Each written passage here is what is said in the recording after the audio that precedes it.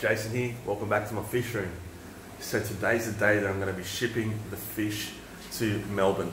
It's quarter to nine in the morning. As you can see, I'm still waking the fish up, slowly turning the lights on. So the fish I'm sending are in this tank down here. So I'm sending my Lamprologus ocellatus gold to Melbourne. They're still fry. Some of them are pretty much full grown, I suppose, if the females would be uh, three centimeters. Some of them are pushing four. They are my fry, they're still my babies. Attached to them actually, it's just, it is kind of sad for me to sell them because they're the first uh, babies that I'm going to sell from the fishery, so they do mean a lot to me. But I'm really happy and um, basically proud of them that they look beautiful and that they're ready to be sold and go out into the big world. But yeah, I thought I'd show you guys what I have ready to pack these fish. I've never done this before, so if you guys have done it before, give me some tips in the comments, that'll be great. But yeah, it's my first time doing this. The Toll sales rep has sent me full packing instructions, how to pack live fish, how to do it properly, and what their regulations are. I'm going to show you what that looks like right now. I've done a few practice runs with packing these because I don't normally pack fish like this. But anyway, I'm going to be packing them to the way they have told me to pack them on the phone and in emails. So that's what I'm going to do because I don't want to drive all that way out there and then they say, no, nah, you can't ship them like this because that'll be devastating. um, Meanwhile, just have a look at this, guys. This is how the Lamprologus ocellatus gold start their life. Just poking their heads out of their mum's shell. These guys are about three days free swimming now, but they're venturing further and further out of their mother's shell each day. And they just look so cool just at the entrance of their mum's shell. Look how well she's dug that shell and covered it up. You would not know it's there from other angles. Pretty much she can only fit in that shell. She can block the entrance with her body and protect those little guys. And they look cool, just sitting at the entrance there. If I was to scare them by accident, they'll just all dart right back into that shell. And the mother can send a signal to them, just poking her head in, and they'll all go back in as well. The other female at the back there, she has babies as well. And they're a little bit older, they're about maybe three days ahead of these little guys. But I just love them at this stage. They look awesome just poking their heads out of that shell, clinging to it for shelter. The guys I'm selling today, I believe, were born in September 2019 and it's now May 2020. So it takes a while to grow these guys up, but I have quite a few that are going to be at a sellable size soon. So again, if you're in Sydney and you want to set up a tank like this, awesome looking shelly tank, watching the interesting behavior of these fish, watching them interact, and seeing these little guys breed in their life cycle. It's just an amazing thing to see so much care from a fish that is literally two to three centimeters long. Look how small she is. And she's she'll be very aggressive towards me. She's not scared of my fingers. You can see there she's trying to bite it. When I put my hand in the tank to clean the tank, there you go, you see the size of her. When I put my hand in the tank to clean the tank, she will bite my hand like crazy and it feels like little pinpricks. but the amount of care that comes from these little guys is incredible. So if you want some awesome little shellies for your tank, something different, yeah, just hit me up guys. These guys really are underrated. They're a beautiful little Tanganyikan shell dweller cichlid from uh, Lake Tanganyika in Africa. You can see the beautiful coloration they have. Gold bodies with that purple iridescence down their sides. Anyway, there you go. I thought I'd share that with you while I'm getting ready to pack these fish for today. Hey guys, so this mess is basically what I need to ship fish. Okay, so the big one that I didn't know about was I'm actually using a, a styrofoam box that's been used before, so hopefully that's okay to begin with.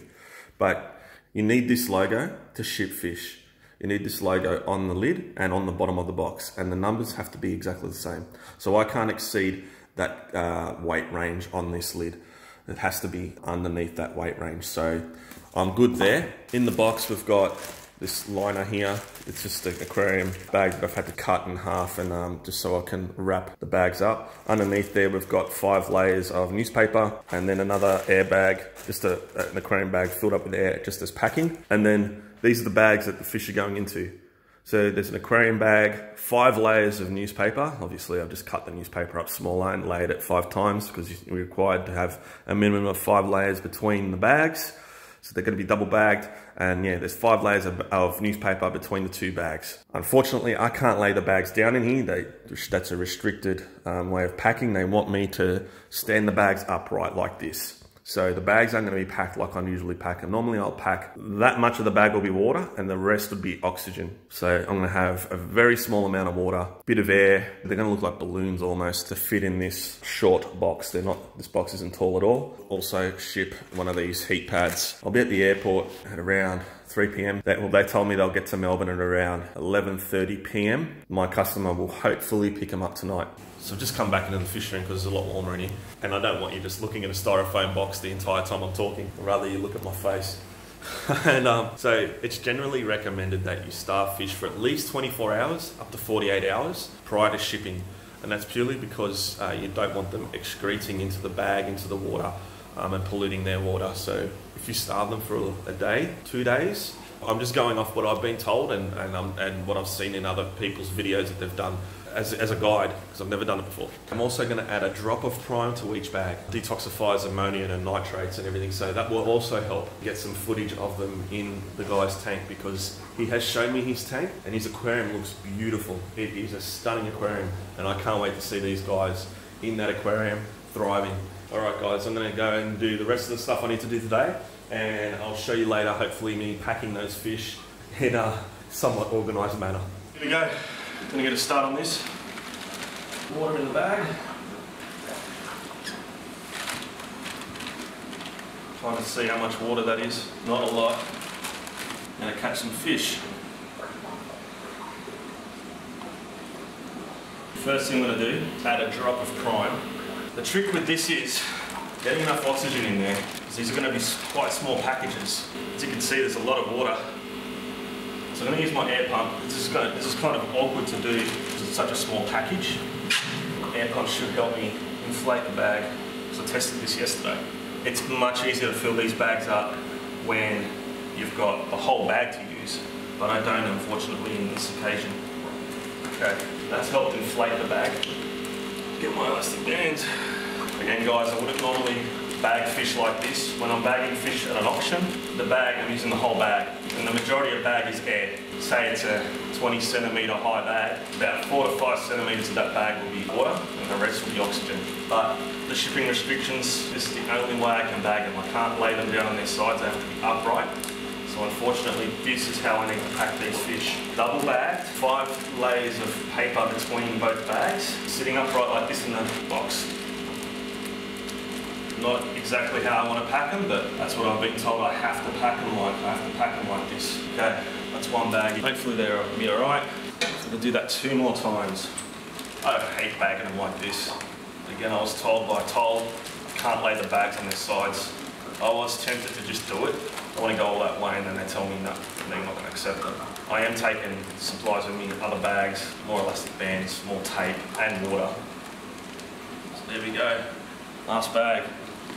There's all three bags in the double bagged in this styrofoam box. Now I'm going to just seal this up with this other bag that is a requirement apparently.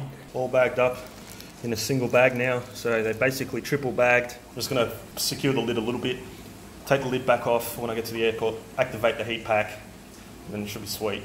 Okay guys, so we're getting closer to the airport. Just on the M5 now, and I'm seeing some planes in the sky which is a good sign, must be going the right way. A lot of Sydney siders would know this tunnel very well. It's the M5 tunnel and it goes for quite a while underground all the way to Sydney Airport pretty much. I used to own a Jeep Wrangler and I forgot that I was going to be coming this way through this tunnel and I had to drive through this tunnel with the roof off I forgot all about uh, the, the uh, carbon monoxide poisoning I would get by driving through this tunnel. And um, yeah, it wasn't nice. Um, it looks like idiots. This tunnel here, we go underneath Sydney Kingsford Smith Airport, the runway. We actually go underneath the runway. and it's actually really cool when um, you see planes just flying overhead and landing and taking off because they just they're right there. Here we are. Okay, guys, the fish are dropped off. Hopefully, they get there all right. So I'm happy to report that all the fish made it to Melbourne healthy. They got there at around midnight, and Ben picked them up at around that time. So they were in the bags overall for about 12 hours. Ben reported that the water was still warm uh, when he got them home. So I'm really surprised at that. I guess the newspaper helped as well as the heat pack helped insulate those bags in the water. That's a good sign and that's given me some confidence for the future if I was to ship fish again. But my main concern with the way I had to pack these fish was the limited amount of oxygen they had available to them in each bag. But thankfully they made it to Melbourne healthy. And now finally, here's some video footage of them in their forever home.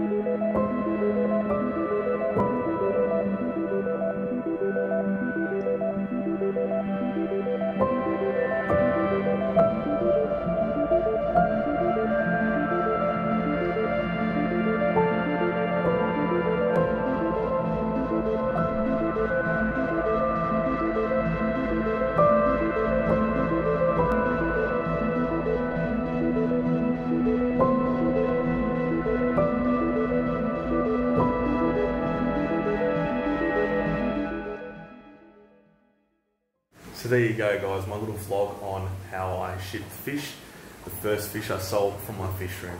Really hope you enjoyed that video and found it somewhat informative. If you did, please hit the like, comment and subscribe buttons. I really appreciate it. Alright guys, I'm going to wrap this one up now. Thanks heaps for watching and I'll catch you in the next one. Bye.